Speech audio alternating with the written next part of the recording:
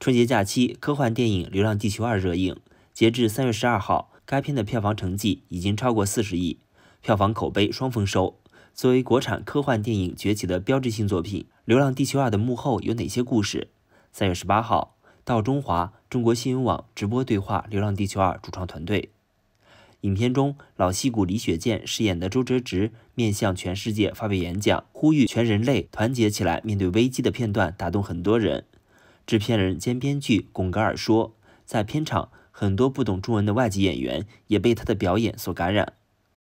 因为他是现场是用这个呃中文嘛去念，其实底下的很多外籍的演员他们听不太懂中文，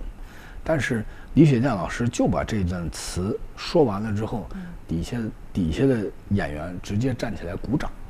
这个是没有人安排的，那是郭帆导演跟我说，那是最最表演最难的一个，就是传递信念感。这种传递信念感，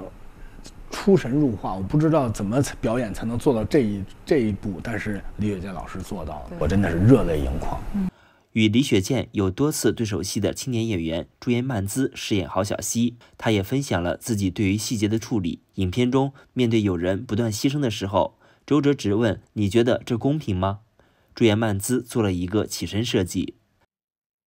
其实有些很重、很重、很深、很深的情感或是力量传达给你的时候，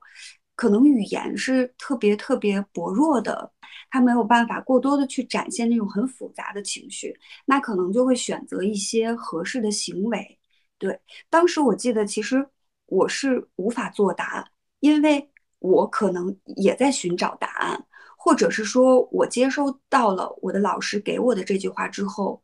让我开始找到那个答案，所以我可能会觉得一个行为可能比语言更会有力量一些。嗯，在中国电影发展历程里，科幻题材可谓前无古人。主创团队摸着石头过河，创造了多个第一，比如第一次引入虚拟现实技术，后期制作中第一次尝试人工智能，第一次采用全片预拍摄方式等。就是我们在影片正式进行拍摄之前，会将整个影片全部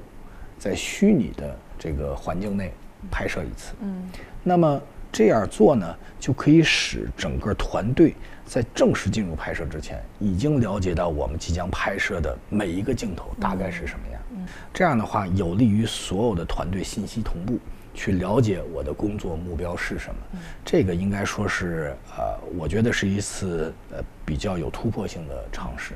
龚格尔认为，科幻电影其实是跟国家实力直接挂钩的一种文艺类型，现在在中国蓬勃发展，其实是一种必然。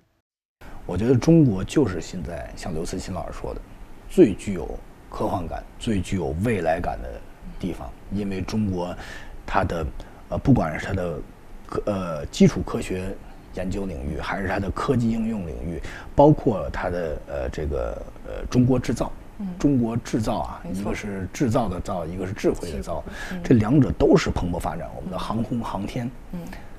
基本上科幻在中国的这个蓬勃发展，应该说是以这些为背书的，嗯，呃，所以我觉得是个必然。